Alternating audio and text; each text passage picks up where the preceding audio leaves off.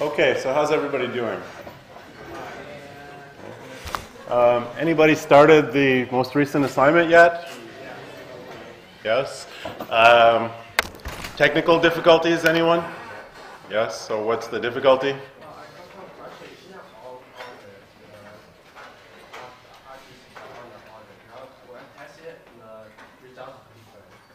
Uh, yeah. So you may get uh, you may get the results in a in a different order. That's okay. Um, if you get as long as you get the same set of results. Um, if you want to make it really nice, uh, you could look up, for example, um, arrays.sort uh, or the sort method for arrays, and uh, then you can sort things into alphabetical order or, or whatever you want, but the assignment doesn't ask for that. Yeah. Okay. Uh, any other difficulties? Unzipping the file, anyone? Yeah, so a few people uh, tried to follow my directions literally and, uh, and used unzip to unzip the file at the command line. That doesn't work under Windows. Uh, probably works under Mac OS. Can anyone confirm that? Yes.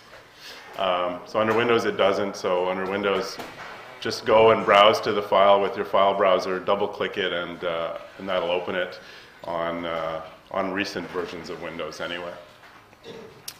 Um, okay, so one, uh, just one thing I, I want to just quickly do, and it has to do with the assignment, is, uh, is take a look at it.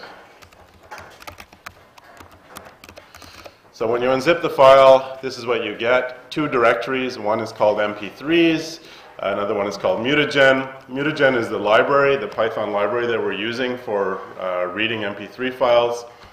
MP3s is about 5,000 MP3 files. Uh, no, it's not my music collection. Well, it is my music collection, but all the files have been truncated. So the only thing that's left of them is the headers that contain the, the information and maybe a fraction of a second of, uh, of sound you could play from it. But uh, I'm not distributing, uh, uh, you know, 5,000 songs uh, to you guys.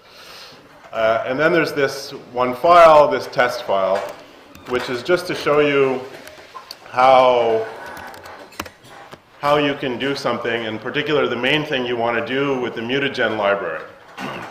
so, um, you know, part four of the assignment, after you've built classes that describe uh, tracks, uh, classes that describe albums, and classes, I think it's tracks and albums, um, then sort of the last part of the assignment is to go through all of these MP3 files, load them up, and uh, and then you know be able to to search uh, on the content of these things. And that's where we need this external library. We don't want to learn the exact format of MP3 files to to do it ourselves. So we borrow this library. Um, and this little snippet of code here, you don't have to really totally understand what it does, but or how it works, but all it does is you give it a directory name. That's this line right here. Yep. Yes. Um, so you give it a directory name. That's what's in the quotes here. Dot means the current directory.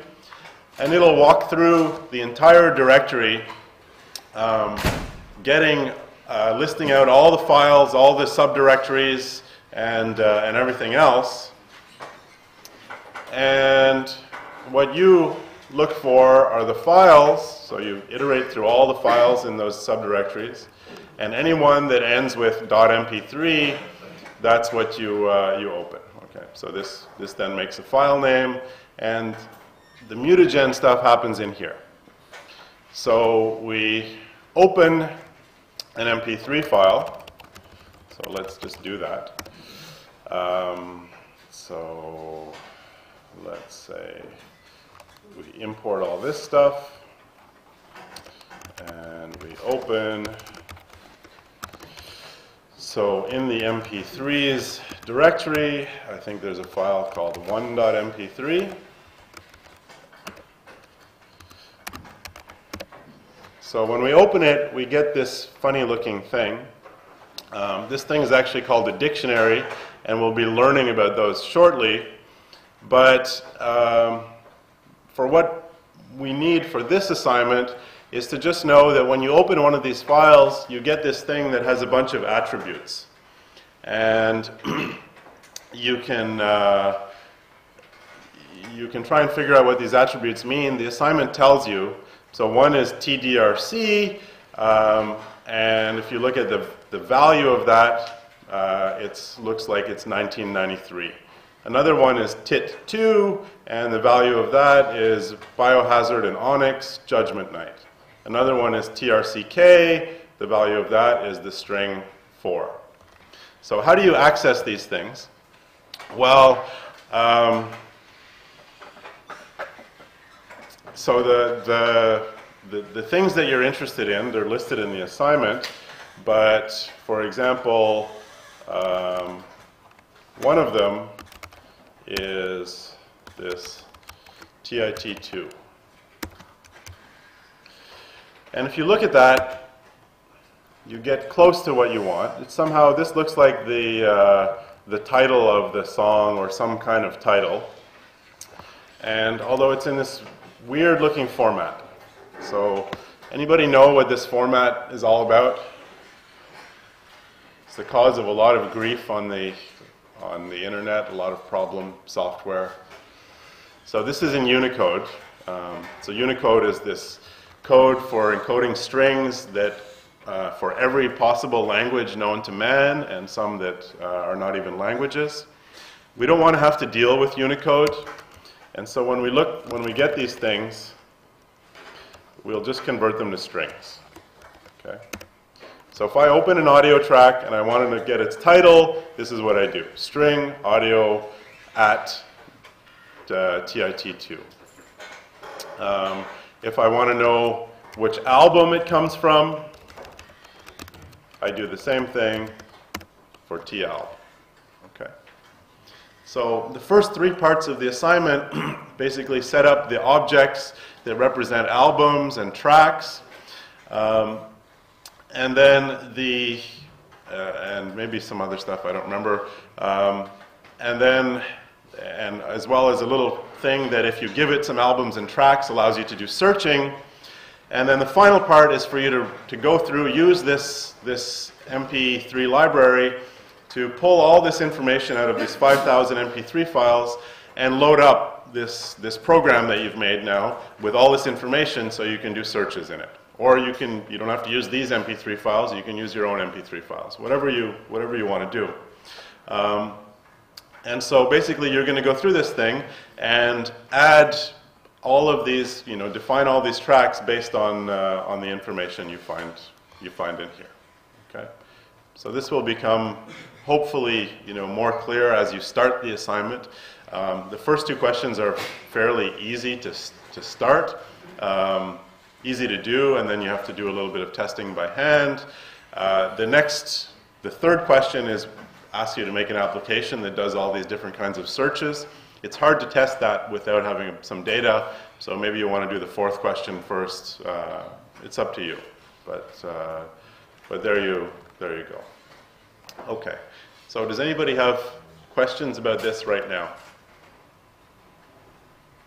Okay. So what I recommend is that you start on this as soon as possible. So this is somehow the, probably the the most perilous assignment you've had so far. Um, the first two were pretty much cookie cutter, uh, write a function that does this, write a function that does that. The third one was make a game of your own design, um, but there you have the advantage that you can make the game as simple as you want. Here you're actually given a fairly precise specification of a program that you need to write that reads data from files in a, in a particular format. It has to have all this functionality, and basically you have to start this from scratch.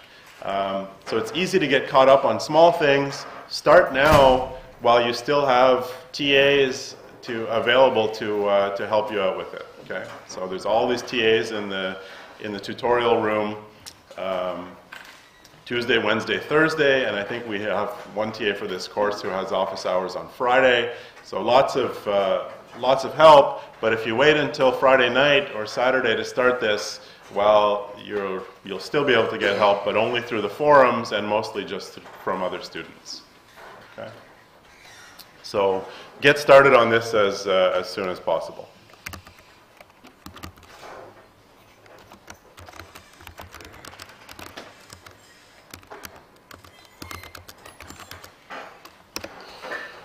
Okay. Um, so last class we started looking at uh, objects, and we had defined this uh, this little class. So last class for us was September 30th. Uh, no. Yes. Yes.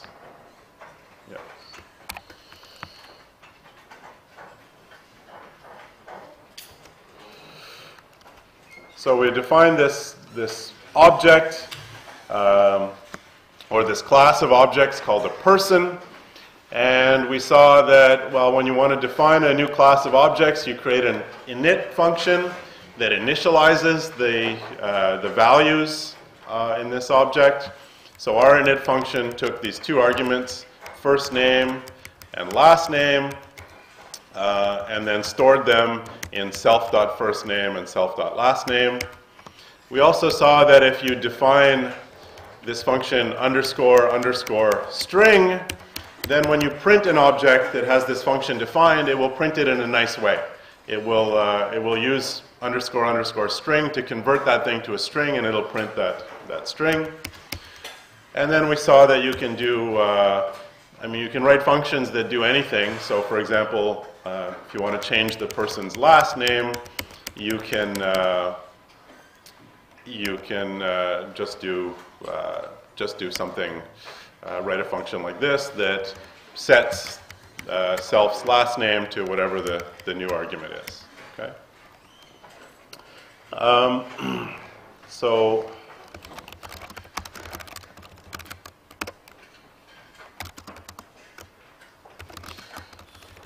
And you create a new instance of this object uh, by just calling the class name as if it's a function. And what that really does is calls init uh, with this, this newly created thing that inside init it's, it's referred to as self. Okay? So me, and now if I look at me.firstname, it's Pat. If I look at me.lastname, it's Morin. If I print me, I get, uh, I get the result of this function, which pens the first name and last name. And if I change the last name to, let's say Moran, then indeed that, uh, that changes the last name. Okay. So questions about that so far?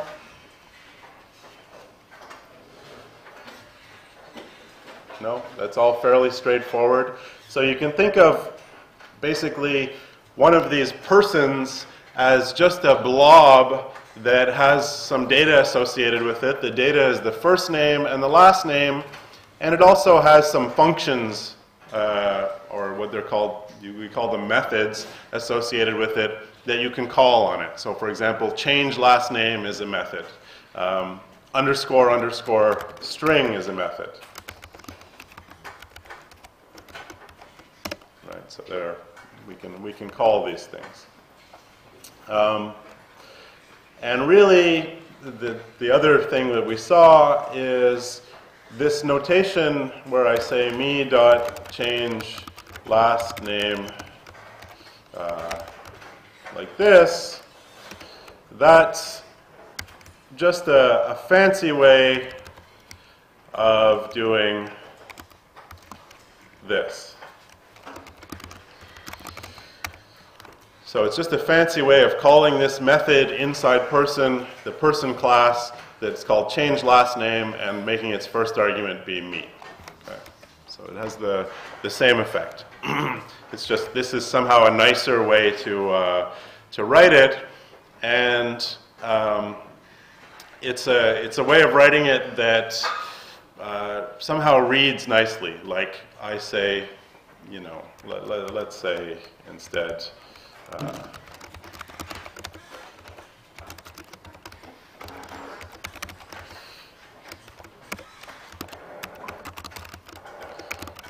So you can sort of read this, and, and when you're making method names, um, think of, of verbs. So here I'm saying, Pat, change your last name, or Pat, you know, change, change last name, or Pat, whatever. Uh, Pat, turn yourself into a string. Um, okay, so now, so let's fix.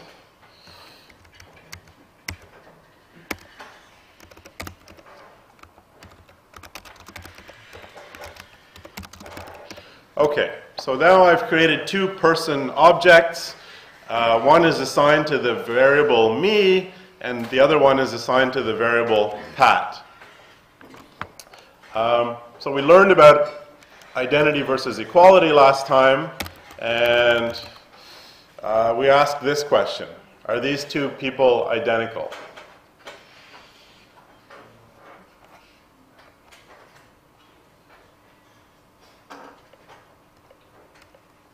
Yes? So who thinks the answer is yes? And who thinks the answer is false? Okay. So the false group is right um, because, well, we've, we've seen these box pictures. If we look at how we created these, uh, these two persons,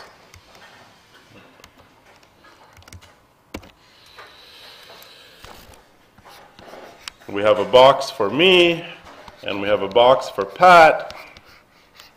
And to get me, we said something like me equals person Pat Morin. And so that creates this new person with first name is Pat, and last name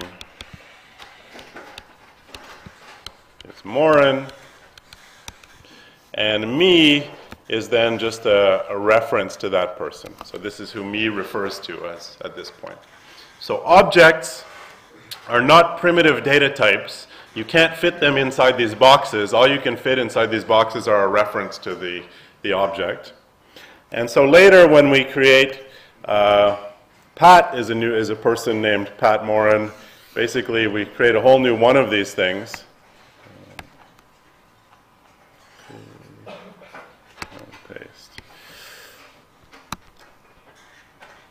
And Pat then refers to this other one. And of course, we can test that. How do we test that? Yep. Uh, not equal to, that won't necessarily tell us much. In fact, that'll be somewhat surprising.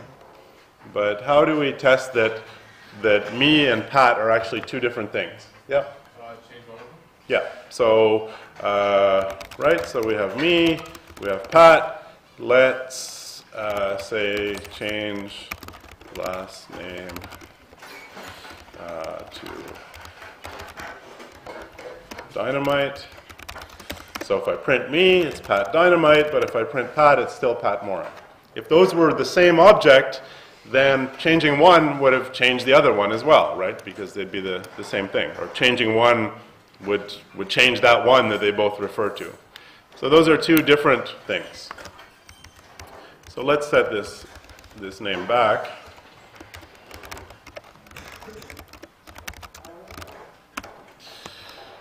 Okay, so there's me and there's Pat again, and we've, uh, we've convinced ourselves that this is the picture of these things. Me refers to one person, and Pat refers to another person.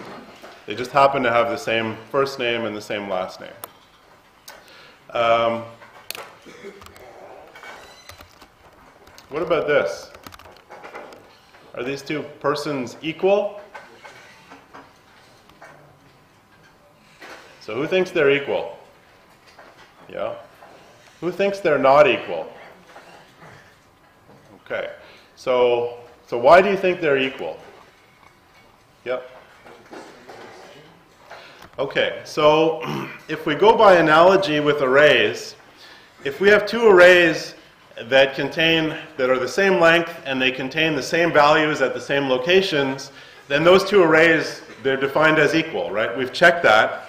We've created two different arrays before and then tested if they were equal. Um, and, and indeed they were, even though they weren't identical. So the natural thing for two persons to be equal would be well, if the two persons have the same first name and they have the same last name, then they should be equal, right? Those are the two attributes of persons.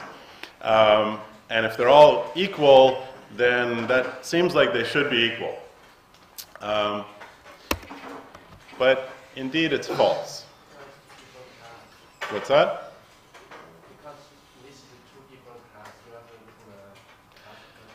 Yeah. So um, somehow these, these, for some reason, these things are not treated as equal. And to understand why, we need to, to look at the sort of default behavior for, for objects. So I haven't defined much in this, uh, this class, right? Just a way to create it, a way to turn it into a string, and a way to, uh, to change the last name. So any other behavior that this thing has is somehow a default behavior that's, that's inherited from any other, from all objects, so that all objects behave this way. And it turns out that in an object, so that's the right person is a kind of object, and it turns out that objects define what it means to be equal, but they just use a silly definition that is, two things are equal if and only if they're identical. So here, um, equality and identity mean the same thing for persons. Either they're exactly the same object or they're, um, or they're, they're different. Now that's not natural for us, so we would like it maybe for whatever application we're doing that if two people have the same first name and they have the same last name, maybe they should be treated equal. And for that, we just define another one of these special methods, underscore, underscore, EQ, underscore, underscore. Um, it takes one argument uh, besides itself, and that's the thing that you want to know if it's equal to. And so when are two people, when do we like to say two people are equal? Yeah. So if they have the same first name and the same last name. So self dot first name equals self dot uh, other dot first name.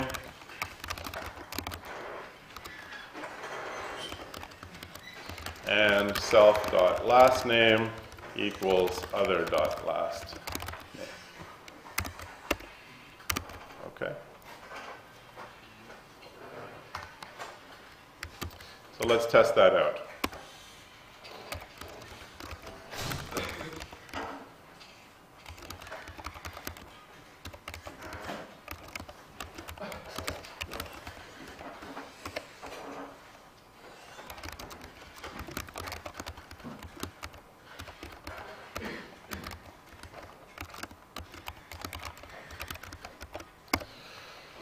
Uh, so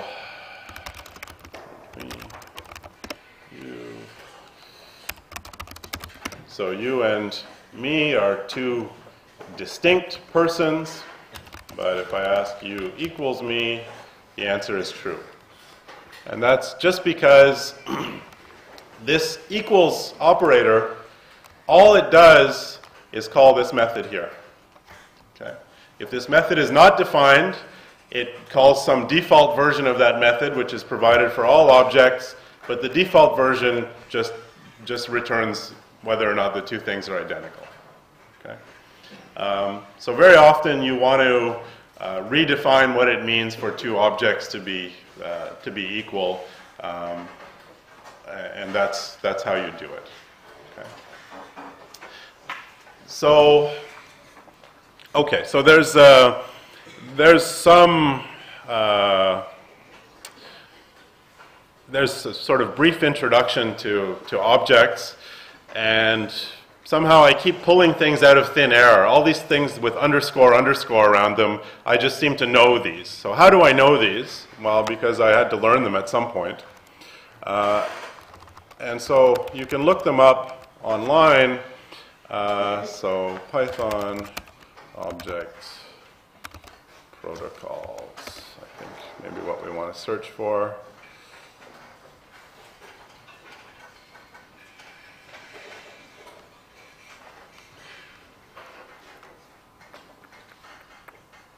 Maybe here.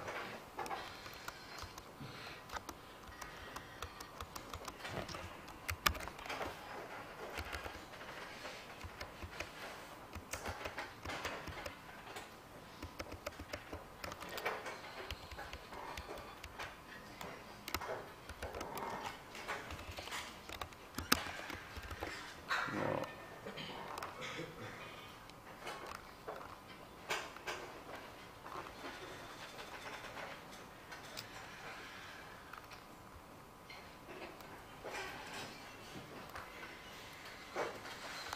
There we go. So there's a whole bunch of these special things. Um, so things like new and init and del. Um, so del, for example, when the object disappears, you, you can, it calls del. Um, representation, this is something that you can define so that the object prints itself in some useful way, uh, slightly different than string. If you want objects which uh, are allowed to be compared to each other, not only for equality, but uh, so that you can compare them with less than, less than or equal to, equal to, not equal to, greater than, and, and so on, um, you define these methods. And so there's a whole bunch of these built-in things, and pretty much everything that you do uh, in Python, so every operator has some object uh, version of it. So, for example, um,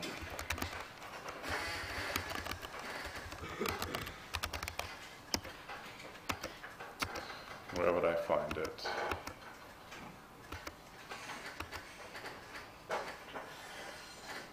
Maybe I can just look for class. There we go. Um, if you want to have objects that you can add together, for example, you define this underscore underscore add method. So for example, it doesn't really make sense for people, but uh, we can say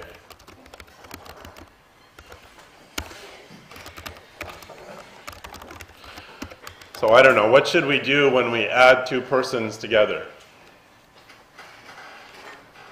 What should the result be? Who knows, right? Maybe it's a, a list of two persons, or maybe we concatenate their names, whatever makes sense for, for your application. So I don't know, let's do something silly. Uh,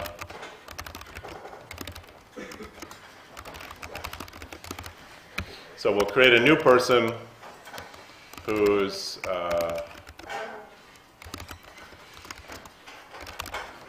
whose name is obtained by adding together the two names of the, the individual people. Okay? Uh, probably doesn't make sense for any application, but it's something we, we can do.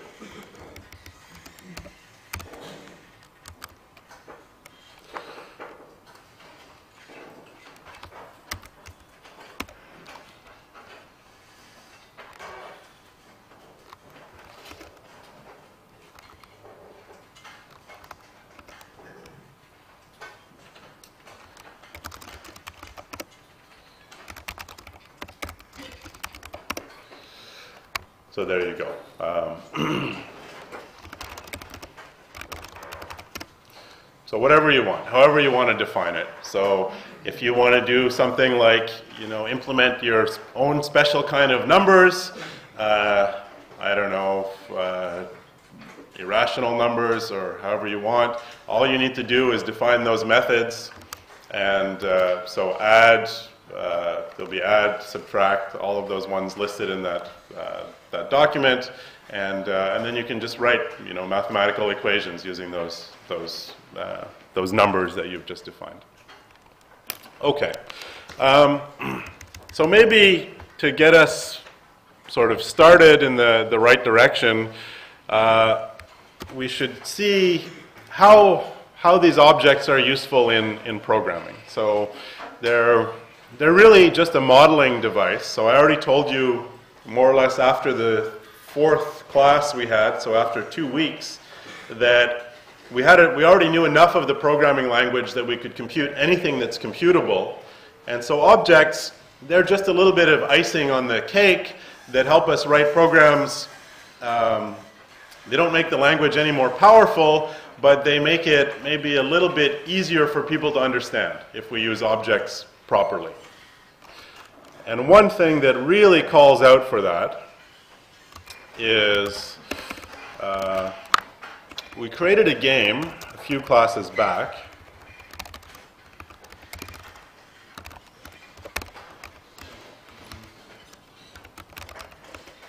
It was a quiz game.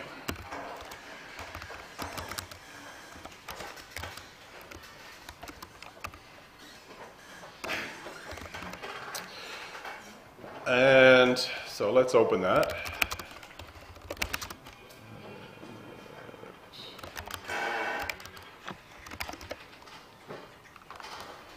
So remember this quiz game we created a, a while back? Uh, it opens a, a, CSV file. In that file, there's a whole bunch of questions, and we uh, we then you know play this game where we pick a question at random and the person has to answer it. And there were some rules. So here's the the main loop from our quiz game. It uh, it has some scores, level, and lives. I, I forget the exact rules, but you know, basically asks these, these questions. So, if, so is there anything in this game that is a little bit, uh, let's say, not represented well or difficult to understand for someone who comes along and, and reads this code? Something that we could use an object to represent rather than what we're doing? So what, what is in this game? What are the elements in this game? So there's questions, there's score, level, lives, so a bunch of stuff like that. Um, so what's the most obvious candidate for an object? Yep. Question. If we look at what a question was in this game, uh,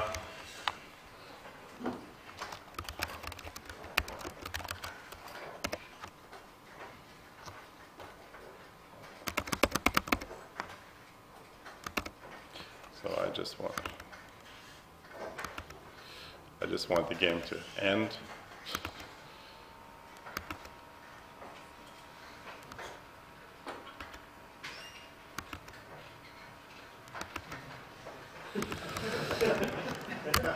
Uh, let's see if I can just kill it. Okay. Um,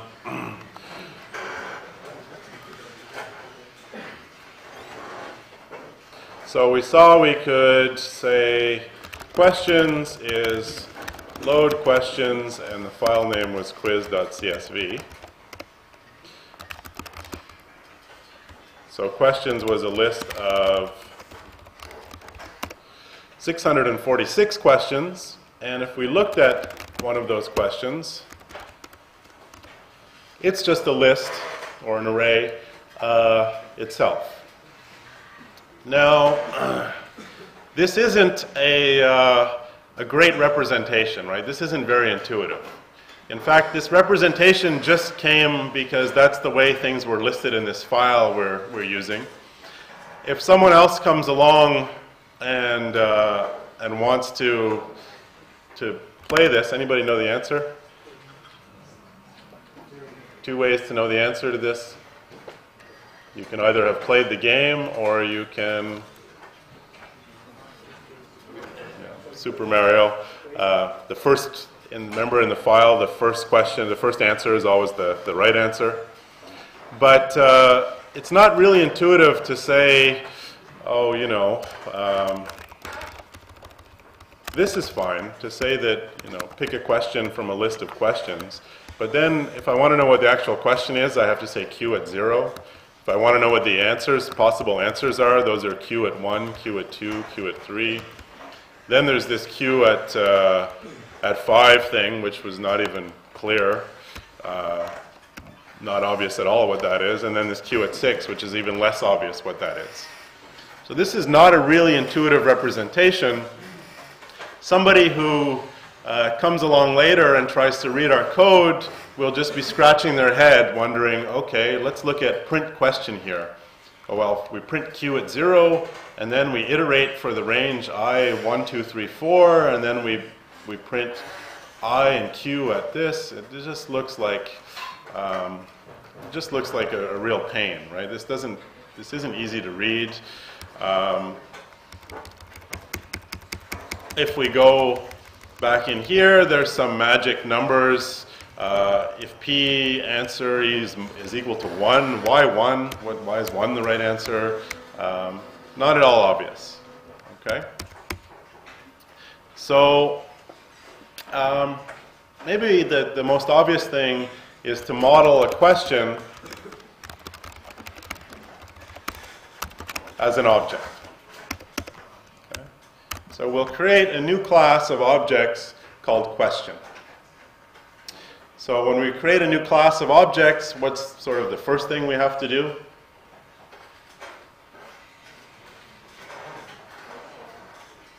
So what's the first method we have to write?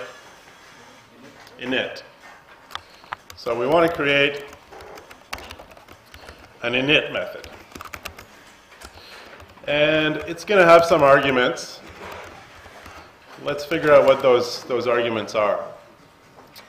Um, all right. So, what, what parts does a question have? It has what? Oh, not a file name. So the file name is actually just a, a list. Of, I mean, the, the file name is, is uh, apart from that, we're going to read individual questions from that file. But for one of these questions, like this one, Q here, what are the, the parts of it? Yeah. So there's the question itself. So probably we want to set that. When we create the question, we want to say what, what it is. So, um, so maybe we should take an argument called question. What else? The options. So the answers or options. Uh, I don't know, let's call them answers.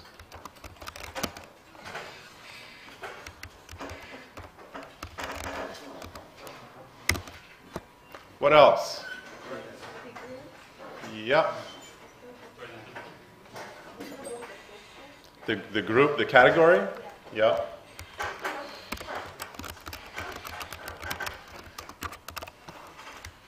And let's use short names up here so we don't.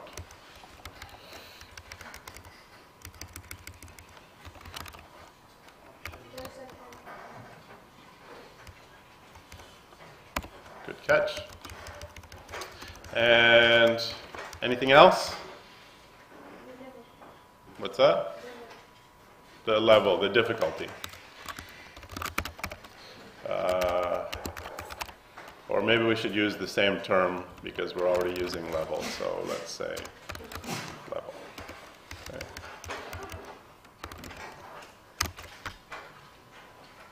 okay. Good. Um, so now we've defined a, uh, a question. uh, what else? So maybe we should keep track of what the correct answer.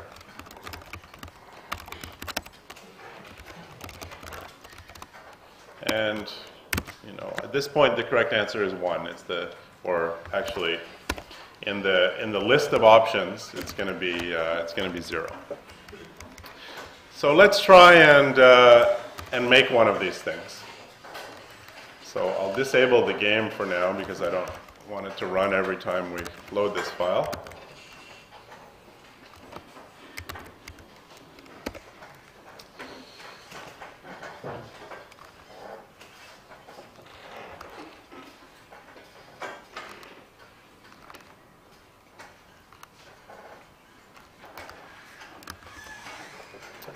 So I want to create a new question. And uh, so this is how we do it. We call the class name as if it's a uh, as if it's the name of a function.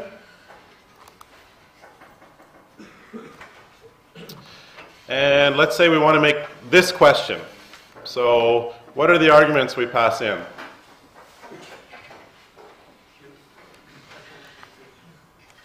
Q? Well, Q is a whole array. So do we want to give it just a whole array? What's that?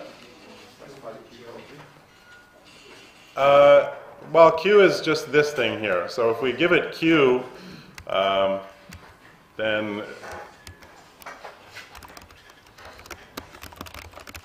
then basically we're passing an array as an argument.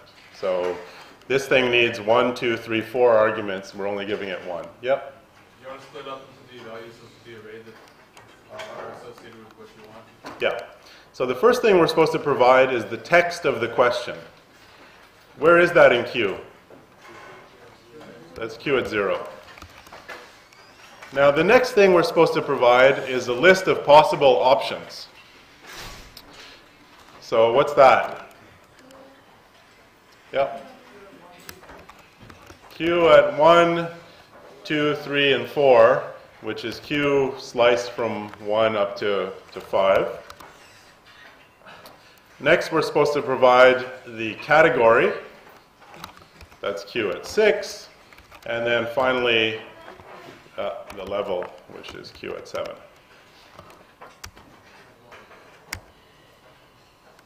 Q 0. Ah, 5 here and 6 here.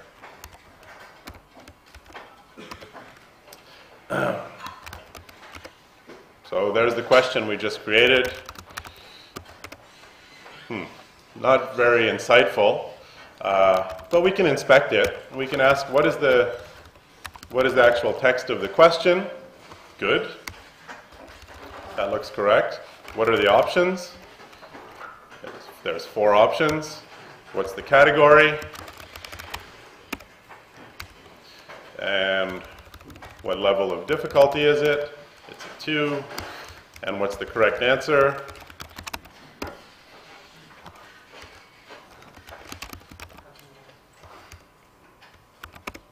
The correct answer is the option 0 in this, uh, this list here. Okay. Okay. Um, so it looks like we've, we've succeeded so far. What else should our, could our questions do? I mean, we're, we're already defining this question thing, so this, we can already use this to make our, our code easier. So let's say we want to use this. Um, so when we load the questions, rather than create a, an array of arrays, we would like to create an array of questions. So here we are. Um, what we had done before was create this, this array of arrays. We took a line and we split it. Uh, we took each line and, and, split it. That gave us these seven parts. Um, now, rather than, than split it, we'd like to do something different.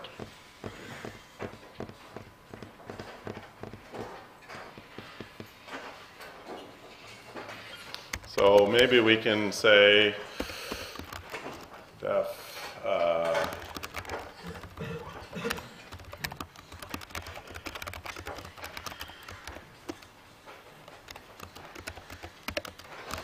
so we've already written the code for this.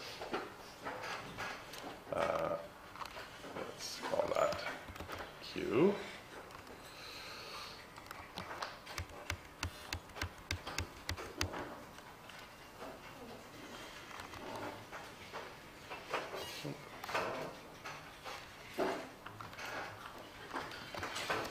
So if we have one of these arrays that we got out of the file, well, this is how we can turn it into a question, right? We, uh, we just do that.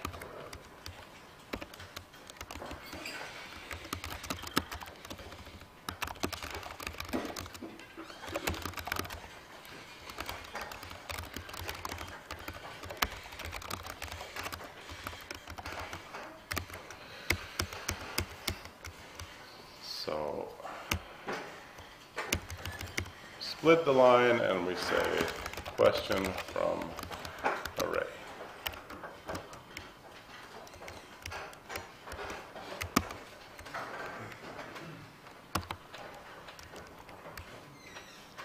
So let's see if that works.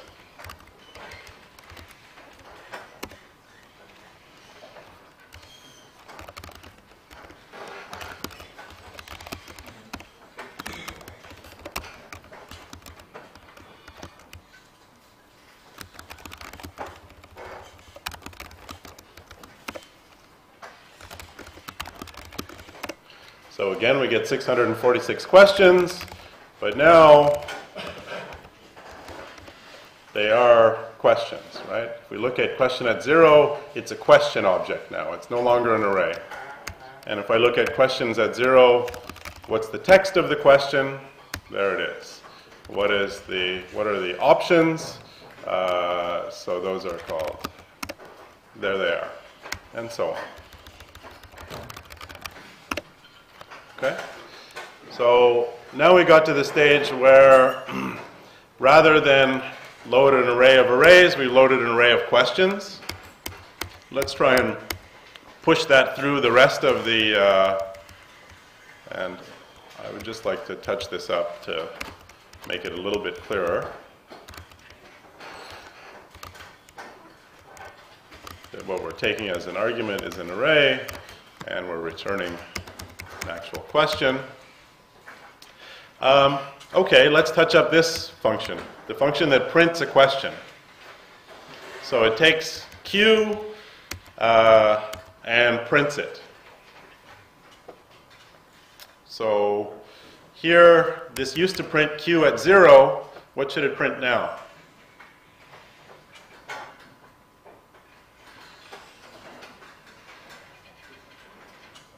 So this Q used to be an array, now it's a question.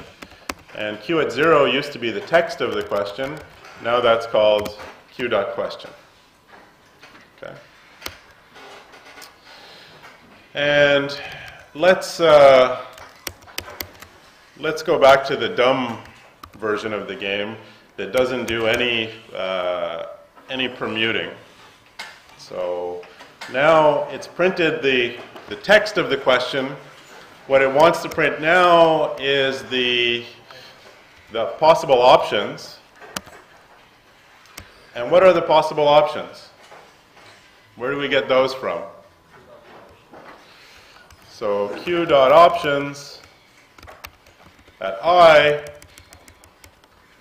and remember q dot options now is an array with four options indexed by 0, 1, 2, and 3.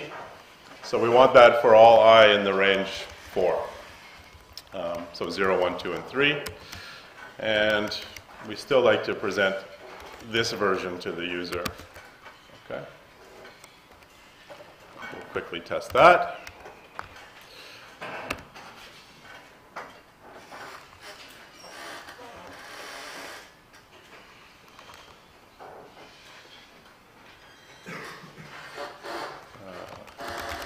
Print Question, questions at zero. There we go.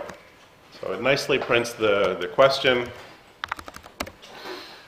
in, uh, in the same way as before, in a way that's, uh, that's readable. But now, if a programmer comes and looks at this code, this is much less magical than it was before, right? this used to be code that said, you know, print q at 0. Well, what's that? I don't know. Uh, and then print q at 1, q at 2, q at 3, q at 4. What are those things? I don't know. Well, now it's, it's a little bit more clear. This is a bit more readable. We first print the question, and then we print four options for that question. Okay, let's see if we can push this through to our, uh, the rest of our game. So this doesn't deal with questions at all, read answer. But there is our, our quiz game here.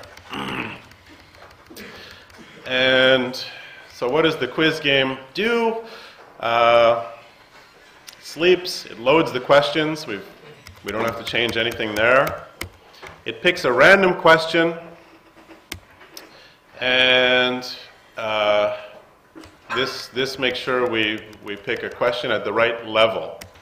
So what do we need to change here? Yeah. So Q at 6 is now Q at level, Q dot level. So uh, as long as Q's level is not, uh, is not correct, then we, we keep trying. In fact, maybe we can simplify our lives a little bit here because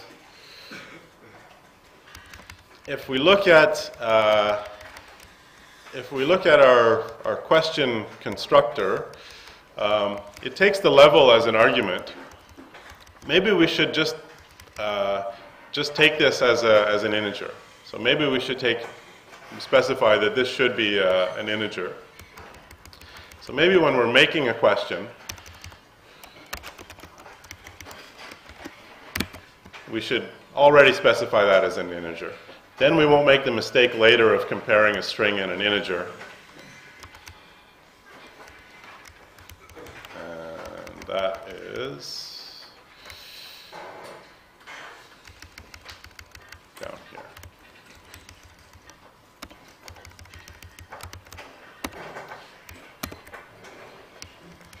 So now as, Q, as long as Q's level is not this level, then this is for permuting the answer. Let's, uh, let's dodge that for a while because our print question function doesn't take that argument anymore even. Then we print the question. We already, we already did that. And then we want to check if the answer is correct. So the user inputs some number, a and s, and we'd like to know if a and s corresponds to the correct answer for this question. So how do we do that? So the user enters an integer between 1 and 4, and what's the correct answer for this question?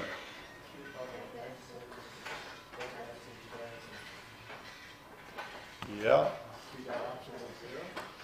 Uh, well, it is q dot options at zero, but eventually maybe it won't be.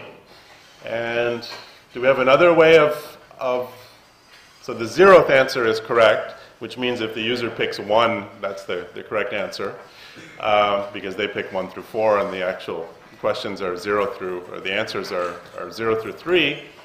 But, uh, but what should we compare their answer to? Yeah. So what we want is that if answer minus 1, that takes us from the range 1 through 4 down to 0 through 3. If that's equal to q dot correct, was it option? Correct answer. Maybe I should change that to correct option. If we're going to call the answers options, maybe we should we should call this the correct option.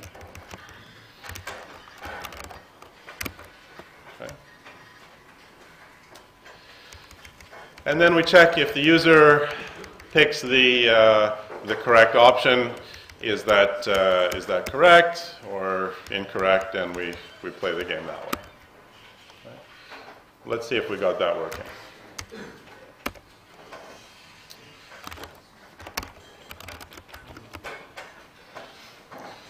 Okay, what's the correct answer? Not a trick question. 1, correct. 1, correct. 1, correct. 2, error. So, says question object does not support indexing on line 61. If we look at line 61, we said incorrect. The answer was, oops, and then we said q at 1. But q is not an array anymore, now it's a question. So how do we get the correct answer?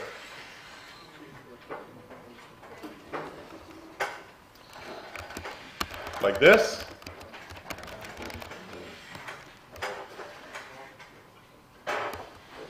Is that right? No. Why not?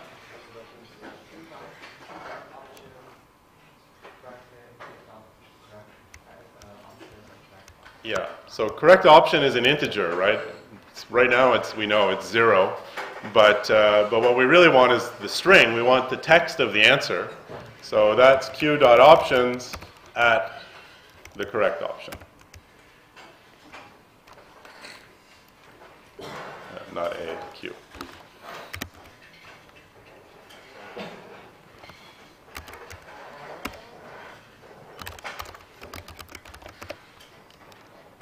Correct. Wrong. Correct answer was Stefan. Wrong. Wrong. Wrong. Wrong. And the game is over. okay. Um, so all that seems to be working. Now the game is boring again because the correct answer is always the first option. So we would like to fix that.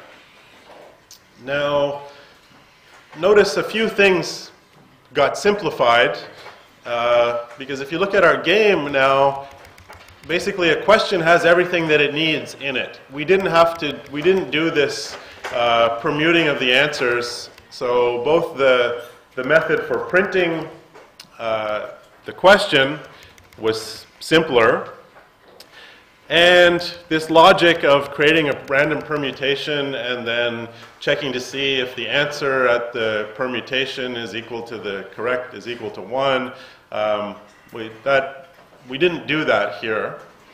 And there's no reason we should do that here. Since we're making a question class anyway, and a question can do whatever it wants when it loads itself, um, maybe the, the best thing is then for it to randomize the answers itself. Okay? So, uh, so how do we do that?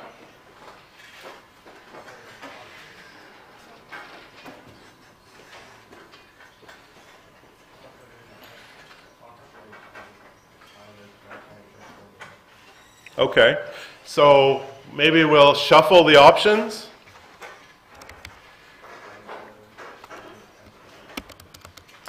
Now, before we shuffle up the options, what should we do? We should store the correct answer. So, um,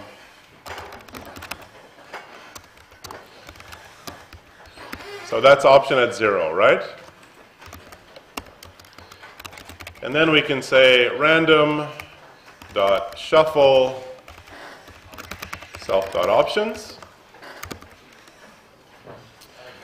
And now this self dot correct option it's no longer zero anymore. Yep. And uh, if you find the uh, what's the correct one, uh, we use the uh, s- I mean, for example, self self dot correct object equal self self dot object equal uh, self dot object dot index of the correct Uh, self dot object. I mean, for the correct answer, yeah. Yes, yes, yes, yes. So the, the correct option is, well, so what do we have? We've stored the correct option, it's called correct here, and then we shuffled all of our options. So now we'd like to know where that correct one ended up, and if we look at the Python list documentation, Uh, I think.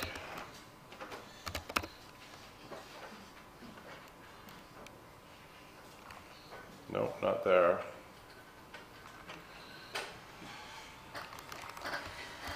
Python list.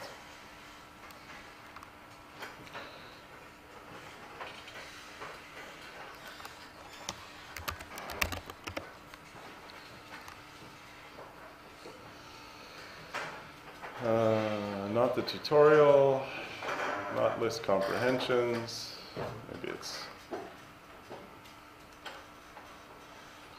Okay.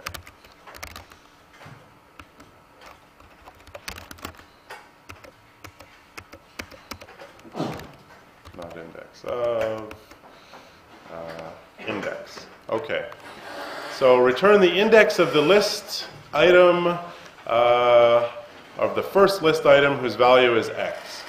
So what we have here is a list of options. Uh, it's all been shuffled now, and we want the index of the correct option. So we want self dot options, and we want to find the index of the correct answer, the one that we saved up here before we shuffled it.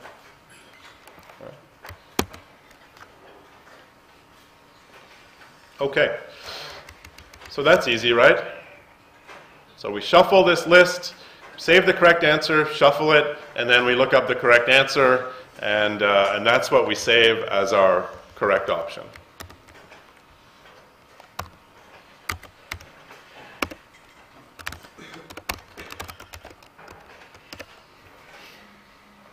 Okay, so uh, now we're back to not knowing the answers to these questions. Anybody want to guess? Three? Correct. Top 10 hit for Chubby Checker?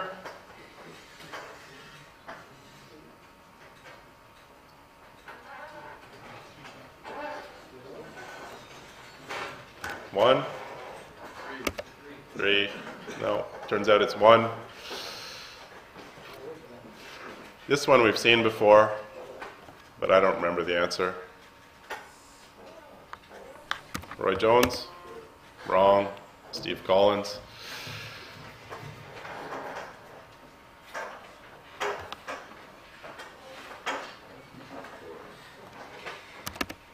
Correct.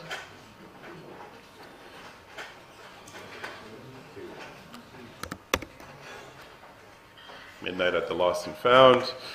What kind of cigarettes does James Bond smoke? Woodbine? Wrong. Chesterfield. Everyone knows this one, right? Three?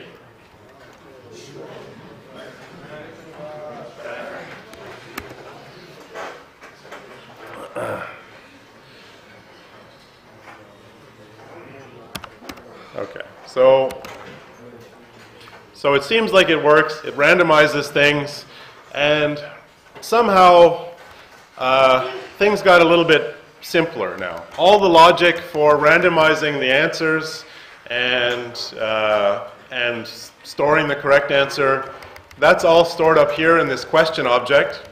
The thing gets randomized when the question is created, and then after that, the quiz game itself doesn't really have to worry about that so much.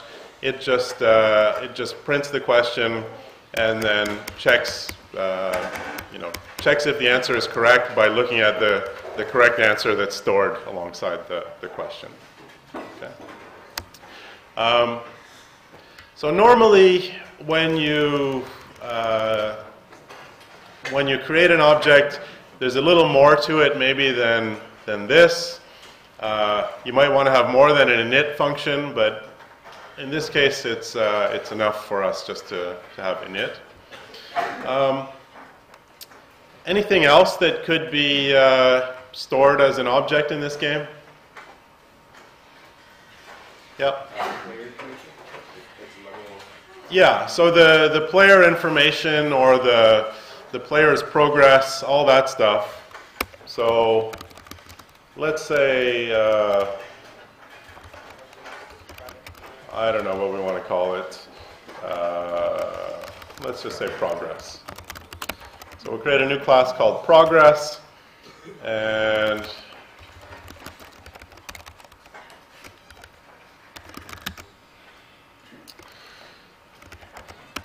and so what are the things that are part of progress or player information? Score. So score starts out at zero, I guess. Lives, that starts out at three. Anything else? Level. So that starts out at, I think it starts out at one. Okay. Um, now I'll show you a neat trick, which is, so here we, uh, you know, we define this method that takes no arguments, and it initially sets the score to zero, the lives to three, and the level to one.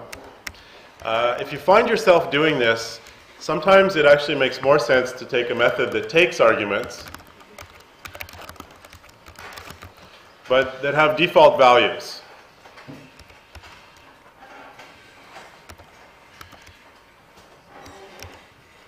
Then later on, if for some reason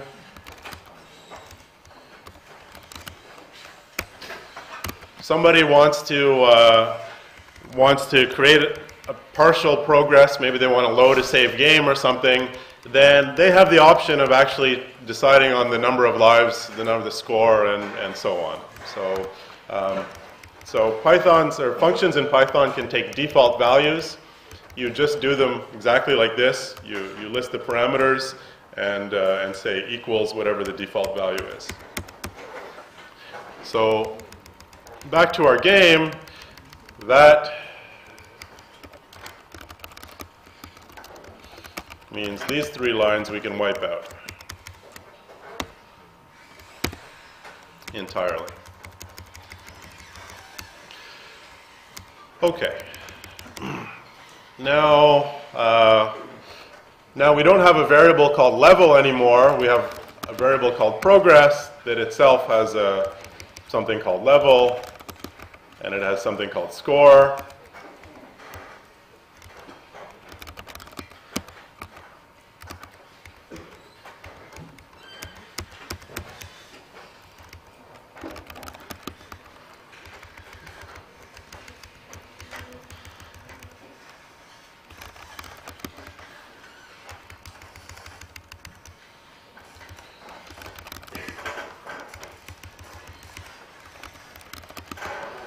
So maybe progress wasn't the best name because it seems to capture more than just progress.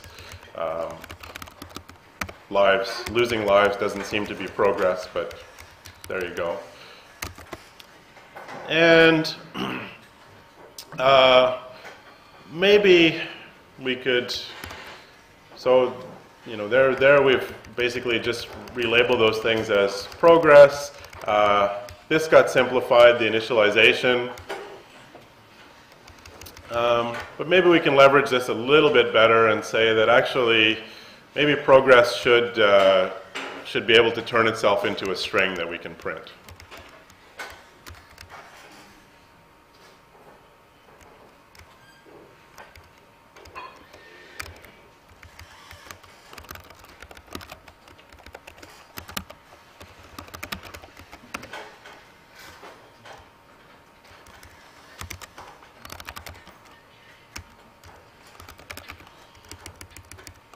Did you know that the uh, gamer's name in progress, in fact, uh, uh, then maybe have, uh, then might instantiate uh, several classes of progress being individual players? Yep. So if we, uh, I don't think we did it for this game, but if you want to prompt the user for their name at the beginning, you'd store that in that, that class. You might then also change the name of the class to something like game info or, or something, but um, yeah, you, you can, maybe player info. Um, okay, so now rather than print that, we can just print progress.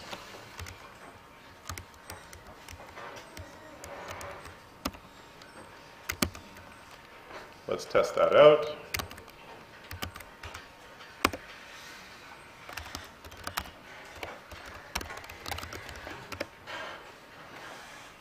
Boom.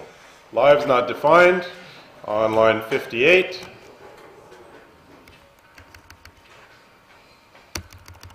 And why is lives not defined? Because it should be progress.lives.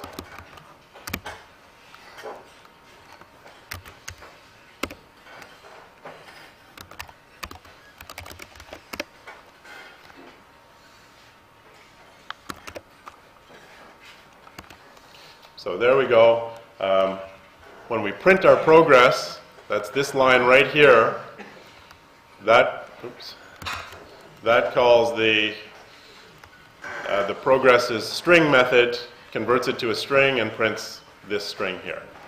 Okay.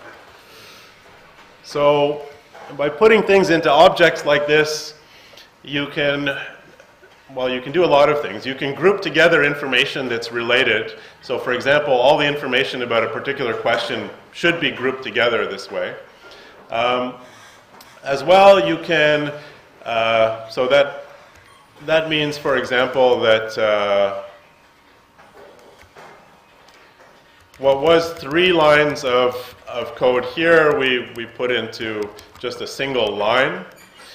Uh, that's fairly, that's a fairly modest decrease in lines of code, but very often for these kinds of things, you have, uh, you have tons of stuff. You know, if your game is a little more complicated, you might not just have lives, score, and uh, and uh, and level, but you might have things like inventory. You might have things like uh, character type, you might have an image of your character, you might have all kinds of, uh, of stuff that you'd like to group together this way. And you don't want to have to, every time a new character, in your code, when you create a new character, to have to rewrite all that instance, all that initialization. So objects are, are good for that. Um, as well as for, for having these, uh, these, these functions that, uh, that turn themselves uh, into strings or, or whatever. I mean, that, do stuff on the object. So, um, so here, for example, this object actually does some non-trivial stuff in its initialization. It shuffles its, uh, its options. Okay. Um, so, I don't know. Is there any more objects we could tease out of this game? Yeah.